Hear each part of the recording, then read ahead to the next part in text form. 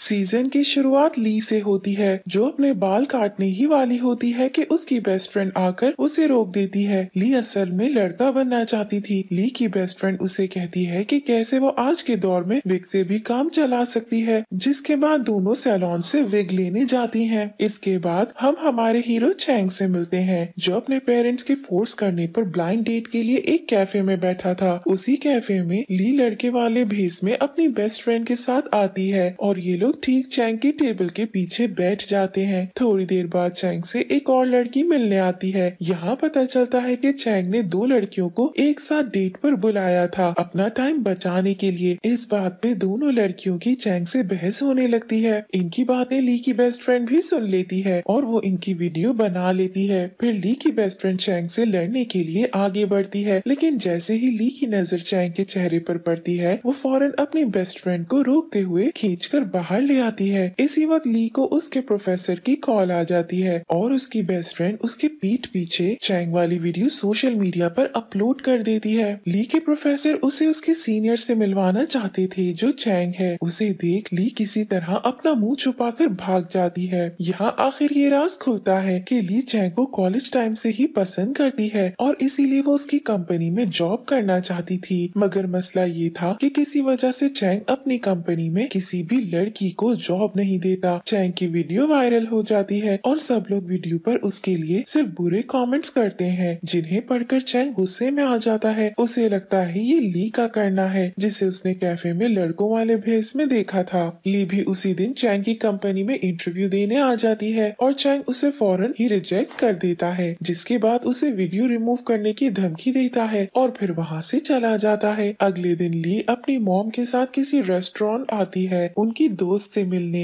लेकिन मज़ा तब आता है जब ली की मोम की दोस्त का बेटा चैंग निकलता है और ली को अपनी शक्ल छुपाकर वहाँ से भागना पड़ता है। चैंग उसे अजीब हरकतें करते हुए देखता रह जाता है, जिसके बाद वो उसकी जल्दबाजी में गिरी हुई किचन उठाकर अपने पास रख लेता है। अगली सुबह जब वो कंपनी आता है तो ली अपने लड़कों वाले भेस में आकर उसे माफ़ी मांगने के लिए सब कुछ करती है, जिस पर चैंग उसे माफ़ कर देता है, लेकिन कंपनी में जगह नहीं देता। ली आसानी से हार नहीं नहीं मानती और चैंग का पीछा करती रहती है। दूसरी तरफ़ चैंग के पेरेंट्स उस पर ब्लाइंड डेट्स को खराब करने की वजह से गुस्से होते हैं। चैंग को आइडिया आता है और वो ली को अपने साथ ब्लाइंड डेट वाली लड़की से मिलने ले जाता है। ऐसे ली की मदद से चैंग ब्लाइंड डेट से किसी तरह बच निकलता है। दोनों साथ वापस आने लगते हैं कि रास्ते में चैंग पर एक बर्ड आकर बैठ जाती है, जिसे देखकर चैंग बहुत डर जाता है। यहाँ पता चलता है कि चैंग को बर्ड से बहुत डर लगता है। ली चैंग की मदद करते हुए उसे कंपनी वापस ले आती है और चैंग आखिर उसे खुश होकर जॉब दे देता है। लेकिन इस शर्त पर कि अब से वो उसके साथ सारी ब्लाइंड डेट्स पर जाएगी। ली काम के पहले दिन खुशी खुशी कंपनी आती है, जहाँ वो अपने टीममेट से भी बहुत अच्छे से मिलती है। वो अपने टीम के एक मेंबर से कंपनी में किसी लड़की के ना होने की वजह पूछती है। यहाँ पता चलता है कि किसी लड़की ने कुछ वक्त पहले चैंग को धोखा दिया था, जिस वजह से उसने कंपनी में लड़कियों को रखना छोड़ दिया है। थोड़ी बातों के बाद ली को वेलकम करने, सब एक कैफ़े पार्टी करने आते हैं, जहाँ कुछ लड़के ली का लड़कियों की तरह दिखने पर मज़ाक उड़ाने लगते हैं। चैंग वहाँ आकर उन लड़कों को भगा देता है, लेकिन उसे अब खुद भी ली के ऊपर शक होने लगता है। ली काम के बाद अपनी बेस्ट फ्रेंड से मिलकर फ़ौरन उसे सब बताती है, और ये लोग डिसाइड करते हैं कि ली की बेस्ट फ्रेंड उसकी गर्लफ्रेंड बनने का नाटक करेगी, ताकि कोई उस पर शक न करे। इनका प्लान काम कर जाता है। सब ली की गर्लफ्रेंड को देखकर हैरान ज़रूर होते हैं, लेकिन उस पर यकीन कर लेते हैं। दूसरी तरफ़ चैंग की मोम को पता चलता है कि चैंग तो अपने साथ सारी डेट्स पर किसी लड़के को लेकर जा रहा है। ये सुनकर वो परेशान हो जाती है और सच्चाई का पता लगाने के लिए चैंग के पीछे उसकी बहन को लगा देती है।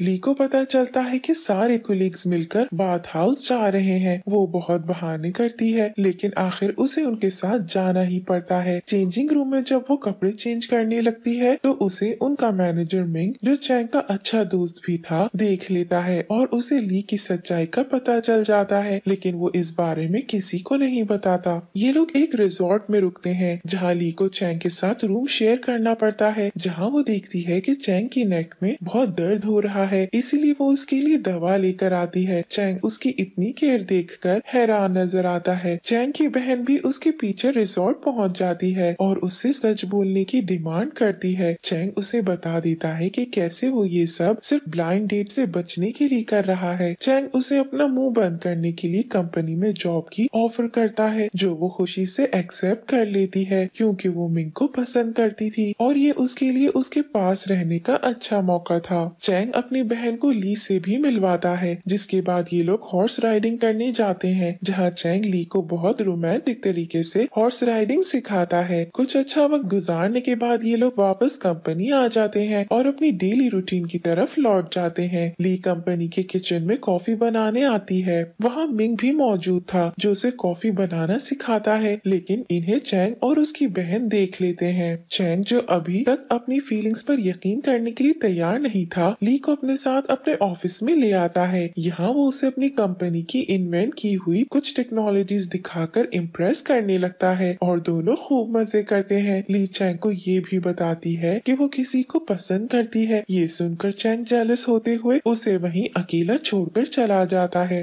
अब छुट्टी का दिन आ जाता है, जहाँ ली की मॉम उसे ज़बरदस्ती शॉपिंग पर लाती है। यहाँ चैंग भी मिंग के साथ आया हुआ था। वो ली की मॉम को देखकर फ़ौरन उन्हें ग्रीट करने आता है, लेकिन ली हमेशा की तरह उससे भागने लगती है और चैंग उसका पीछा करता है। ली बड़ी मुश्किल से उससे भाग निकलती है, लेकिन यहाँ उसे मिंग रोक लेता है, जो उससे सच के बारे में पूछता है। आखिर ली मिंग को बता देती है कि कैसे चैंग के साथ काम करना उसका ख्वाब था। मिंग उसकी बातों पर यकीन करते हुए उसका साथ देने का वादा करता है, क्योंकि वो हमेशा से कंपनी में किसी लड़की को काम करते देखना चाहता था। अगले दिन ली अपना कंपनी कार्ड घर पर भूल जाती है, जो उसकी मॉम उसे लौटाने आती है। लेकिन ली उन्हें कंपनी के बाहर ही रोकर जल्दी से अपना भेज बदल कर उनसे मिलने आती है। वो उनसे लंच बॉक्स तो ले लेती है, लेकिन अपना कार्ड भूल जाती है। दूसरी तरफ़ चैंग उसे ढूंढता हुआ उसकी डेस्क पे आता है। तो उसकी की चेन का आधा हिस्सा देखकर उसे उस पर शक होने लगता है। वो अपनी सेक्रेटरी से ली की फ़ाइल माँगता है तो उसे पता चलता है कि ली ने अभी तक अपनी फ़ाइल भी कंपनी में नहीं जमा करवाई है। ली वापस अपनी डेस्क पर आ जाती है। पीछे उसकी मोम उसका कार्ड देने कंपनी के अंदर तक आती है और यहाँ आखिर उन्हें उसकी सच्चाई का पता चल जाता है। जब ली काम से घर जाती है तो उसकी अपनी मॉम से इसी बारे में लड़ाई हो जाती है और वो उसे कंपनी छोड़ने का कहती है। अगली सुबह ली परेशान होकर मिंग से मदद मांगती है, लेकिन इन्हें साथ में देखकर चैंग उसे गुस्से में बहुत सारा काम दे देता है।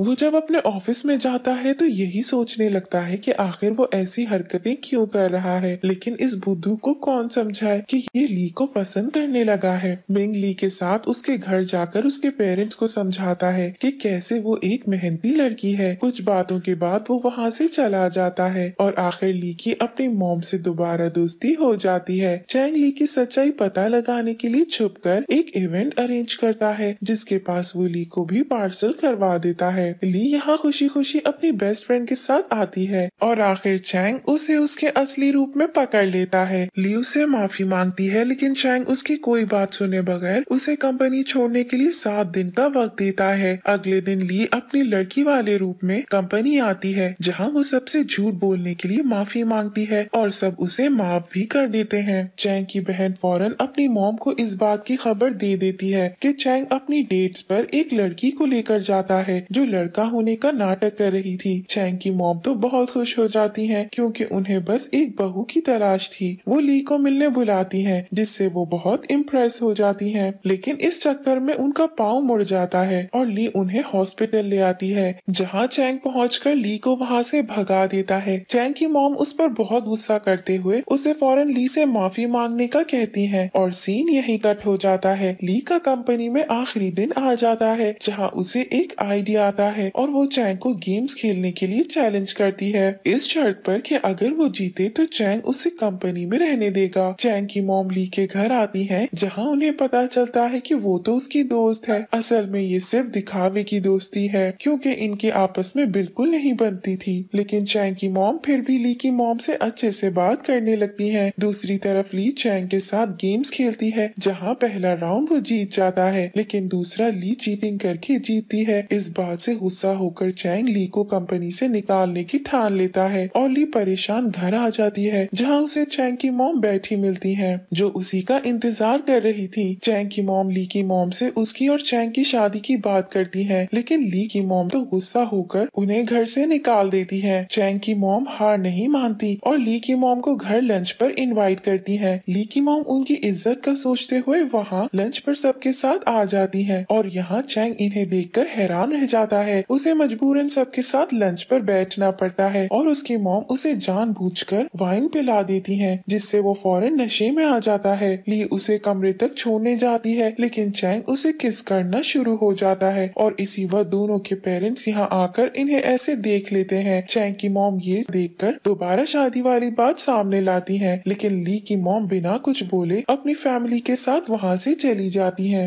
ली सोचती है कि कंपनी में जॉब रखने के लिए उसे शादी के लिए हाँ कहना पड़ेगा, इसीलिए वो अपनी मॉम को भी सब सच बताकर मना लेती है। सुबह चैंग उठकर जब घर में ली के साथ शादी की बात सुनता है तो हैरान रह जाता है। वो फ़ौरन ली से मिलकर शादी के लिए हाँ बोलने की वजह पूछता है। तो ली बस यही कहती है कि उसे कंपनी में काम करते रहना है। अब उसकी सिंसियरिटी साबित करने के लिए चैंग उसे पूल के पास लाता है, जहाँ वो उसे ऊपर से जंप करने के लिए कहता है। उसे तो लग रहा था कि ली ऐसा कुछ नहीं करेगी, लेकिन वो तो पूल में जंप कर देती है। चैंग फ़ौरन उसके पीछे पानी में कूदकर उसे पूल से बाहर निकाल लाता है, और आखिर वो भी शादी के लिए मान जाता है, लेकिन इस शर्त पर कि वो इसके बारे में किसी को नहीं बताएँगे। आखिर दोनों की खामोशी से कोर्ट मैरिज हो जाती है, और दोनों साथ एक घर में रहने लगते हैं। ली भी काम पर लौट जाती है, जहाँ सब उसके वापस आने पर खुश नज़र आते हैं। चैंग की मॉम उसे और ली को ज़बरदस्ती वेडिंग शूट के लिए बुलाती है, जहाँ चैंग ली को वेडिंग ड्रेस में देखता ही रह जाता है। इनका ज़बरदस्त फ़ोटो शूट होता है और ये लोग वापस घर आ जाते हैं। वैसे तो चैंग ली के साथ बहुत कोल्ड बिहेव कर रहा था, लेकिन उसके दिल में ली के लिए जगह मौजूद ज़रूर थी। ऑफ़िस में किसी बात को लेकर चैंग और ली की बहस हो जाती है तो मिंग ली को कंफर्ट करने आता है। चैंग को अपनी गलती का एहसास हो जाता है और वो ली से माफ़ी मांगने आता है। तभी उसकी नज़र मिंग पर पड़ती है और उसकी जेलसी फिर बाहर आ जाती है। इस बार तो वो मिंग के सामने जानबूझकर ली को अपनी वाइफ कहकर बुलाता है, जिससे ली और मिंग दोनों ही हैरान रह जाते हैं। मिंग वहाँ से चला जाता है और ली भी अपने तेज धड़कते हुए दिल के साथ अपनी डेस्क पर लौट जाती है। ली चैंग को अपने साथ डिनर पर इनवाइट करती है और रेस्टोरेंट पहुंचकर उसका इंतज़ार करने लगती है। चैंग भी तैयार होकर जब घर से बाहर निकलता है तो उसे उसकी एक्स मिलती है, जो वही लड़की थी जिसने उसे पैसों के लिए धोखा दिया था। चैंग उस पर बहुत गुस्सा करते हुए वहाँ से चला जाता है और इस चक्कर में वो रेस्टोरेंट भी लेट पहुँचता है, लेकिन ली उसका फिर भी इंतज़ार कर रही थी।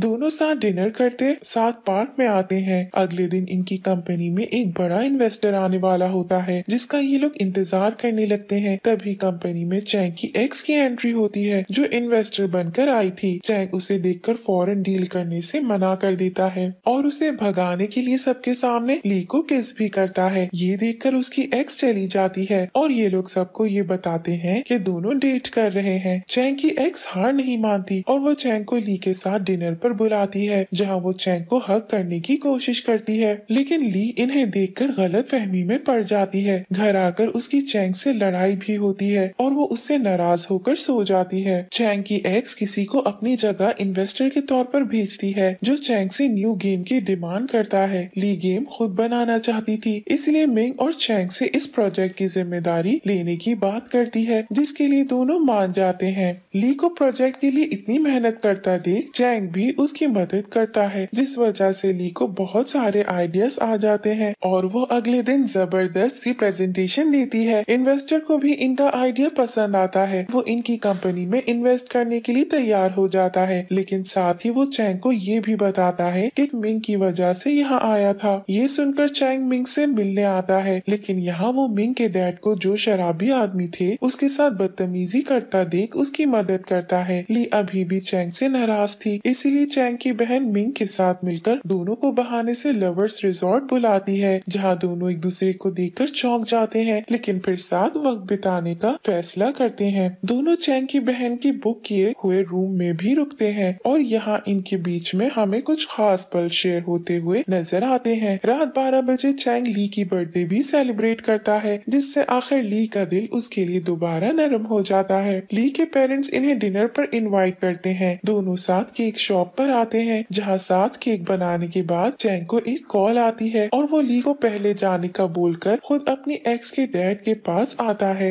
यहाँ उसे पता चलता है कि कैसे सालों पहले उसकी कंपनी के पैसे उसकी एक्स ने नहीं, बल्कि एक्स के डैड ने ज़बरदस्ती उड़ाए थे। इस सब चक्कर में चैंग ली के घर डिनर पर नहीं जा पाता, लेकिन ली सारा मामला संभाल लेती है। वो घर लौटकर चैंग का इंतज़ार करती है, जो वापस आकर उसे माफ़ी माँगता है, लेकिन उसे कुछ नहीं बताता। चैंग की बहन ली को शॉपिंग पर लेकर जाती है, जिसके बाद वो जानबूझकर ली के साथ उसके घर ये चेक करने आती है कि वो चैंग के साथ कैसे रह रही है। ली उसे वहाँ से भगाने की कोशिश करती है, लेकिन वो वहीं बैठकर कहती है कि वो चैंग का यही इंतज़ार करेगी। ये सुनकर ली परेशान हो जाती है और ऐसे ही ये पार्ट यही एंड होता है। Thank you for watching